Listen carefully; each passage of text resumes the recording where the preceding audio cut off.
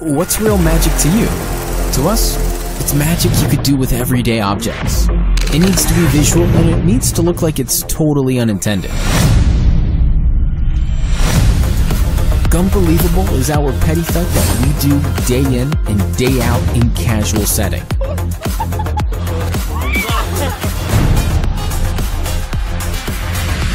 A visual effect that's light and breaks the ice. Did you feel that? Check this out.